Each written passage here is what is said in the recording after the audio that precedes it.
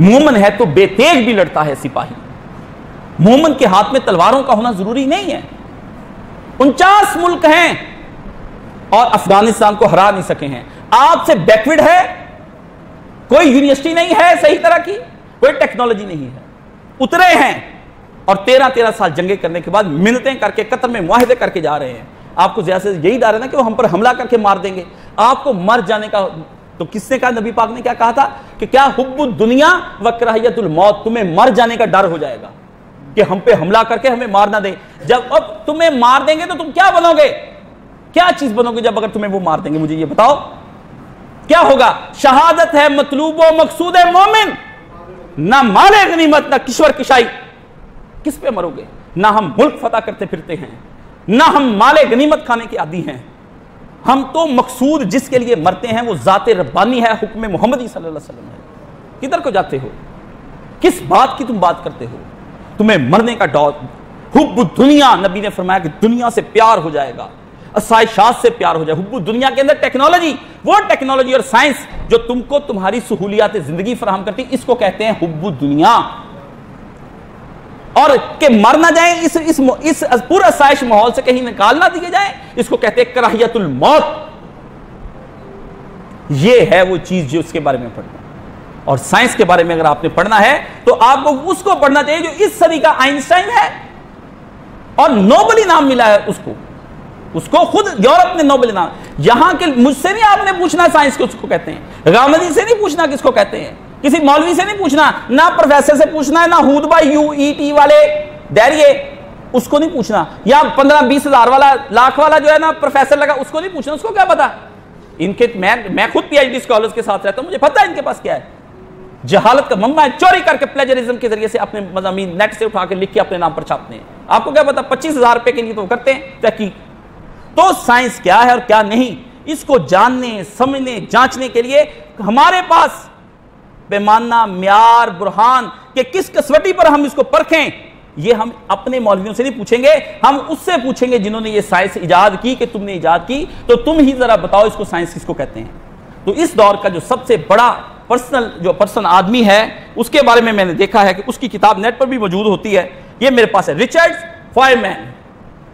ये है Richard Feynman. इसकी किताब आप पढ़ेंगे, six easy pieces. Essentials of the physics explained by its most brilliant teacher, the most original mind of his generation, Freeman Dyson ये है ये पढ़े जा उन्नीस पचानवे में उसने छापा कि भाई साइंस कोई कति चीज़ नहीं है। दीन एक अलग मसला है साइंस एक अलग मसला है। और ये नजात का रास्ता नहीं है। ये तबाही की तरफ़ ले जाता है। आप नजात का रास्ता नजात सिर्फ़ इतबा मोहम्मद अरबी सल्लल्लाहु अलैहि वसल्लम। हजूर के पीछे चलोगे, नजात है। वरना जा जहनुम के अंदर, तुम जितनी मर्ज़ी तरक्कियाँ कर लो, जो मर्ज़ी तुम करते चले जाओ, ये सिर्फ़ सरकार दो आलम तो ये असल में चीज़ मेरा रोना है कि पहले आपको ये होना चाहिए कि सबसे पहले पैराडाइम को, सबसे पहले पढ़ने वालों को पैराडाइम को। तुम्हारे नबी, मेरे पास वो किताब यहाँ ये देखें, क्या आपको सुनाऊं? इल्म आगही का सफ़र, डॉक्टर शेर शाह सैयद। इकबाल ने उस जमाने में नजम लिखी थी, हैं? कि मैं अजल का सोमनाती, मैं अजल का जुन्नारी। उसने कहा, मैं शुरू से मेरे बुज़ुर्ग जो है, बुत पूछते रहे हैं, मैं हिंदुओं से मुसलमान हुआ तू अजल से सैयद तू पुराना सैयद है, तू फलसफा पढ़ के तो गुमराह हो गया। तो इल्म आगही का सफ़र, अब देख लो इस इल्म आगही के सफ़र के अंदर, दो चार जो है ना, वो आपको कोई नज़र आ जाएँगे। चलता है, टेक्सला यूनिवर्सिटी से चलता है, पढ़ाता जाता है, जो अमेरिका की यूनिवर्सिटियों के नाम, जो दाएँ बाएँ जितने अंग्रेज़ों के नाम, जो योंग जही वांग जी यांग यू वह पता नहीं क्या शुरू किया हुआ है। सारे चाइना के भी उसके अंदर। हैं जी, Simone de Beauvoir Oscar Wilde, Pope Gregory Oliver Cromwell. What is this यार? ये तुम्हारे बच्चे पढ़ेंगे। और वो इनको अपने हीरो समझेंगे। साहबा इक्राम उनके हीरो नहीं रह जाएँगे। औलिया अल्लाह उनके हीरो नहीं रह जाएँगे। मुहदसिन उजाम उनके नहीं रह जाएँगे। फुकाह उजाम उनके हीरो नहीं रह जाएँगे। उनको जब भी होगा, आप अपने बच्चों से पूछे, किसी अल्लाह के वली की बायो, वो कभी नहीं बता सकेगा। वरना मेरे साथ चले कॉलेज यूनिवर्सिटी के। कितने लोग आपको सुकरात, बुकरात और इन बड़े बड़े साइंसदानों के बारे में बता देंगे, वो कब पैदा हुए और कब मरे हैं। जब आपके रोशनी के मीनार गुल कर दिए जाएँगे और अपने झूठे म्यारों को सामने लाकर इस तरह रोशन कर दिया जाएगा तो फिर कौन वहाँ से रोशनी लेगा? फिर कश्तियाँ डूबेंगी तो क्या नहीं डूबेंगी? इकबाल ने इसको उस वक्त जमाने में भी कहा था। इकबाल ने कहा, इसको पढ़ने वाली इकबाल की चीज़ें हैं। इकबाल कहता है कि क्या है? वो फ़िक्र गुस्साख जिसने उरिया किया है फितरत की ताकतों को। इकबाल कहता तेरी जहानतों ने नेचर फिलोसफी, साइंस को तुमने डायग्नोज किया है। वो फ़िक्र गुस्साख जिसने उरिया किया है फितरत की ताकतों को, उसी की बेताब बिजलियों से खतर में है, इसका आशियाना। इसी फितरत की बिजलियाँ चमक के तबाह कर देंगी तेरे घर को, जिस फितरत को तू इस वक्त बिजलियों कहता है। ये बिजलियाँ लगा ली ना इकबाल ने कहा तो फरमाया, जिस जिस फलसफा और साइंस के अंदर तू फिर रहा है ना, यही तेरे घर को एक दिन आग लगा देंगे। आज उनके घरों को आग लग गई। फरोगे मगरबियाँ खीरा कर रहा है तुझे। इकबाल ने कहा, मगरब के लोगों की आँखें तुझे खीरा कर रही हैं। फरोगे मगरबियाँ खीरा कर रहा है तुझे। तेरी आँखें चुनी आगे जी बड़ी उधर बहुत उधर तरक्की है। तेरी नगर का नगे बाहो साहबे माजाग। हाय हाय हाय। अब इसका क्या तर्जमा करूँ? क्या तर्जमा करूँ? ये पूरी सूरह नजम और मरा शरीफ है। क्या कहता है? तेरी नज़र का निगे बाहों ने क्या दुआ करता हूँ? या अल्लाह, इस बच्चे की बसीरत का निगेबान किसको बना दे? साहिब माजाग। लफ्ज इस्तेमाल किया सूरह नजम का। कुरान मजीद में आता है कि तेरे नबी ने जिस वक्त तेरे रब की निशानियों में फरिश्तों और जन्नत दोजों को देखा, माँ जागल बसर, तेरे नबी की आँख ठटकी नहीं, भड़की नहीं, दाएँ बाएँ नहीं हुई, तेरे नबी ने वो इल्म हासिल किया है कि तेरे नबी को वो सच्चा इलम ही हासिल हुआ था, इसके अलावा कुछ और हुआ ही नहीं, सच्चा इल्म। साहिब माजाग उसने कहा, तेरा नबी तेरी आँख, तेरी आँखें घिरा हो गई और तेरी आँखों का तो वो होना चाहिए, वो बजमे ऐश है मेहमान यक नफसो दो नफस। कहता ये ज़िंदगी जो तुम्हारी ऐशों की गुजरी है, ये दो चार लम्हे हैं, एक आध सदी चलनी है। चमक रहा है सितारों की तरह जिसके अजाग जिसके प्यालों को, ये ग्लोब लगाए होते हैं ना तो चमक रहा है। कहता, तुझे लगता है वो चमक रहे हैं? ये दो चार घड़ियाँ, ये खत्म हो जानी, इनकी टेक्नोलॉजी तुझे अल्लाह तक नहीं जा सकती। इकबाल ने इसके बारे में कहा है, और ये हमारा क्या है? हम इसके पीछे बढ़े जी करना है, करना बुरा ना मान, जरा आजमा के देख इसे। मैं कहता हूँ जो बात, ये मेरा पैगाम कि बुरा ना मान। जरा आजमा के देख इसे और इसकी गहराई में उतर इस फलसफा और साइंस एंड टेक्नोलॉजी के अंदर। जा, जाके पढ़, कहीं मेरे पास बैठ के दस साल चाहिए उस आदमी को जो आलिम बनना चाहता है, जो फलसफा साइंस को पढ़ना, उसको भी इतने साल चाहिए। अपने आप को बंद करना पड़ता है। मौलाना मदूदी ने एक किताब लिखनी थी अल जहाद फिल इस्लाम।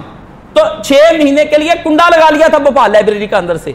और पाँच महीने तक चने चबा चबा के ऊपर से पानी पी के किताब लिखी, जिसको इकबाल ने कहा कि अल जहाद फिल इस्लाम जैसी किताब नहीं आज तक आई। किताबें इस तरह भी आगे फिरते तुरते मेरे को आके मसला पूछा सोबज बैठे, एक वजीफा लिया, चलो जी काय साहब पढ़ लिया जी, बड़ा पढ़ लिया पढ़ लिया। हम्म? बुरा ना मान, जरा आजमा के देख इसे। फ्रंग दिल की खराबी, खिरद की मामूरी। दिमाग क्या है? कहता, इकबाल कहता कहता, फ्रंगियों का इलम तेरे पास क्या आया है? ये तेरा दिल बर्बाद करते हैं, शहवतें पैदा करते हैं। नित नई औरत नित नई औरत तुझे दिखाकर तेरी शहवतों को बढ़ा और क्या करते? खिरत की मामूरी। नित नई तेरे दिमाग के अंदर चीज़ों की तरफ़ पैदा करते भी, ये गाड़ी नहीं, अब ये लेनी है, ये नहीं, अब ये लेनी है। ये हमारे का करोला कम हो गई, पता नहीं केड़ी अब लेनी, फिर मर्सडीज लेनी मर्जरी से भी अगे को फरारी, गरारी, पता नहीं क्या है? वो सारी लेनी तेरी जहनीत कैसा चेंज कर रहा है? खिरत की मामूरी। कैसे आप अपनी खिरत की मामूरी से अपनी जान छुड़ा सकेंगे? इसलिए ये आप जो मैं ना आज ये पानी की बोतल भी पीता हूँ। ये किस टेक्नोलॉजी ने तबाह की? जाओ मिनरल वाटर पे मजबूर तुम्हें किसने किया? जब तुम्हारी बड़ी बड़ी फैक्ट्रियाँ बनी, उन्होंने ड्रेनिंग करके नीचे केमिकल के पानी पहुँचाए तो फिर वो नीचे वाले सारे पानी उन केमिकलों से बर्बाद होकर रह गए। अब पीने का पानी तुम्हारे घरों के अंदर नहीं है, तुम्हें हज़ार की मील से जाकर लाना पड़ता है। मैं अगर करता तो ये तुम्हारा है। ये गर्मी के अंदर एसी इस्तेमाल करना तुम्हारी मजबूरी है। करोगे तुम? वो बहुत वली है जो छोड़ दे। क्यों? इस कदर गर्मी वाला माहौल जब तुम्हें दे दिया जाएगा, तुम शाम को इसमें सांस ही ले सकोगे, हार्ट अटैक से मर जाओगे। क्यों? तुम्हारे ये सड़कें बना दी गई। क्यों? तुम्हारे एसी इतने लगा दिए गए। क्यों? तुम्हारी मिलने इस कदर कर दी गई। ग्लोबल वार्मिंग इतनी बढ़ा दी गई कि अब तुम्हारा एसी चलाना मजबूरी है। वरना मेरे साथ, चलो किसी गाँव के अंदर, यहाँ पे ये टेक्निकल वोकेशनल इंस्टीट्यूट बना हुआ है, खजरा मस्जिद के साथ। उस रोड पे जब मैं जाता हूँ, आज अभी चले जाए, ठंडा रोड होगा, क्योंकि वहाँ बहुत ज़्यादा दरख्त लगे हुए हैं। हम अगर ये कर रहे हैं और उलमा यहाँ पर खड़े कर रहे हैं तो ये है मजबूरी हमारी। जी ब्रांड मैं ब्रांड नहीं, खालिश। ब्रांड और चीज़ होती है खालिश चीज़ और होती है। अब खालिश आपको इतनी महँगी मिलती है कि आप उसके बगैर चारा नहीं है। ब्रांड होता है कि चीज़ चाहे बुरी हो, चुके नाम निकला हुआ है, हमने लेना है। मजबूरियाँ बना दी गई आपके ऊपर। आप आप इस टेक्नोलॉजी को बाई चॉइस नहीं ले सकते हैं। इल्ला कि जब तक के वैसे ही हिजरत ना कर जाएँ, जैसे नबी पाक ने की। इसलिए आज हर चीज़ चेंज हो चुकी है। जी, आप गुस्से में ना आए? कैसे ना आए? आपने गुस्सा, ये गुस्सा नहीं है, इसको संजीदापन कहते हैं, इसको हमीयत कहते हैं, इसको गैरत कहते हैं। गुलाम कदर हैला ये मुगलों का एक गुलाम होता था। जब इसने एक दिन देखा कि मुगल कमज़ोर पड़ गए हैं तो इसने सल्तनत पे कब्जा कर लिया और मुगल शहजादियों को दरबार में कहा, नाचो। वो इज़्ज़त वाली बेटियाँ कैसे नाच सकती थी? ये बड़ा जालम किस्म का पठान था। तो इसने क्या किया? इसका नाचो तो इम्तिहान लेने के लिए क्या किया? अपने तख्त पर लेट गया। लेट के एक तेज धार खंजर अपने सराहने रख लिया, आँखें बंद कर ली। कहा, नाचो। लड़कियाँ नाचती रही। मुगल भी दो चार दस शहजादे के पास खड़े रखे। खुद ड्रामा किया सोने का। जब वो नाच चुकी तो आँख खोली और खंजर निकाला। तो बताऊँ क्या कहा? हमीयत था जिसका नाम तैमूर के घर से गई। उसने कहा, कोई उठ के मेरे खंजर ही मार देता। हौसला नहीं पड़ा कि खंजर पकड़ के मार दे, कि हमारी बेटियाँ नचवा दी तूने, जालम। इकबाल ने पूरी नजम फिर इसके ऊपर लिखी, गुलाम कादर रहला, बांगे दरा में पढ़ने वाली है। कि उसे कहा हमीयत था जिसका नाम साबित हो गया कहता के तैमूर के घर से गई। और कोई पुत्र उठ के मेरे सीने में कोशिश तो करता खंजर मारने की। आप ही मर जाता ज़्यादा से ज़्यादा। आप जो आदमी आपको बेदार करे, आप उसको कहते हैं कि ये बंदा, ये आपके अंदर से हमीयत, गैरत चली गई, आपको गुस्सा ही नहीं आता। गांधी साहब ने इतना आपको कर दिया कि नहीं प्लीज़ सब मिलके एक दूसरे को टॉलरेट करें, एक दूसरे की बात सुने का सुनो, मुझे वो खादम हुसैन रिजवी अच्छा है, जो कम से कम अपने नबी के लिए बात तो करता, चाहे किसी के इशारे से कर दी। ये फितने हैं आपके दौर में, किसको पोलाइटनेस कहते हैं? लाए नाम वो कौन सी डेफिनेशन है जो आप करेंगे? एथिक्स के ऊपर पोलाइटनेस किसको कहते हैं? सीरियसनेस किसको कहते हैं? टू अब्यूज किसको कहते हैं? Come on talk on the table करे ना टेबल पर आकर मुझसे बात। दे मुझे आर्गुमेंट्स में कर लेता हूँ। इसलिए ये कैसे हैं? आप लोगों को बहुत कुछ खराब कर दिया गया। खिरत का नाम जुनू रख दिया। जुनू का नाम खिरत, जो चाहे आपका हुसन करिश्मा साज करे। अकल को तुम पागलपन कह रहे हो? पागलपने को तुम अकल कह रहे हो? बगदाद जिस वक्त तबाह हुआ ना तो ततारियों की तो औरतें भी मुसलमानों को कत्ल कर रही थी। पूरा बगदाद मुसलमानों का भरा पड़ा। एक जगह पे मुसलमान पंद्रह बीस मिल गए एक औरत को। ततारियों की औरत को, मंगोलों की औरत को। उसने कहा किधर जा रहे हो? उसने कहा, बाजी असी तो इतने ही। फिर रहे इधर बैठो सारे, इधर बैठ जाओ सारे। मैं जरा घर से तलवार लाती हूँ तुम्हारी गर्दन उतारने की। सारे बैठे रहे भागा ही कोई नहीं। बाजी, घर से तलवार लाके सबकी गर्दन उतार दी आप तो वो मुर्गे हैं, बिल्ली को देखकर डर के बैठे हुए हैं। वो टेक्नोलॉजी वो साइंस वो आस्था बोलो, वो नबी पाक की बल्कि टॉलरेंस का सब शाइस्ता। और किस शा का नाम है तुम्हारा?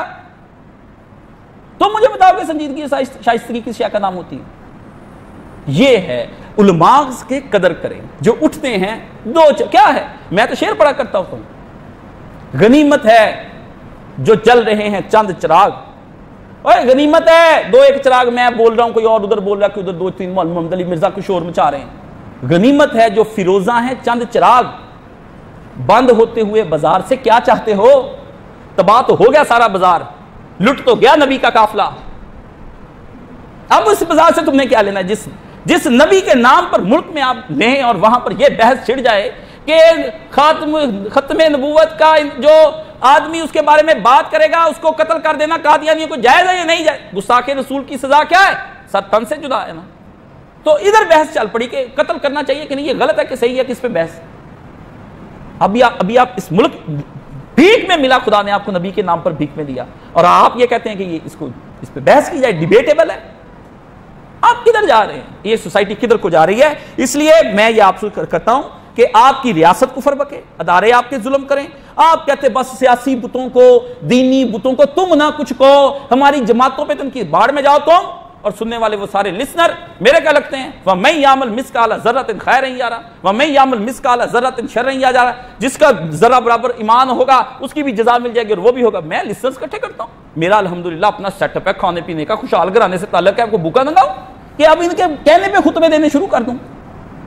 मैं जो ज़रूरत महसूस करता हूँ और मैं जो बता रहा हूँ और मैं साथ उसके आपको अंग्रेज़ी किताबों के हवाले देता हूँ और आज फिर मैंने एक नई किताब का हवाला दिया।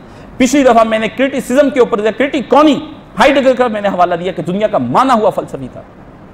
माना हुआ फलसफी था। और उसने कहा कि अब इस तहजीब को सिर्फ़ खुदा बचा सकता है। तो खुदा किसके पास है इस वक्त सच्चा? मोहम्मद अरबी सल्लल्लाहु अलैहि वसल्लम।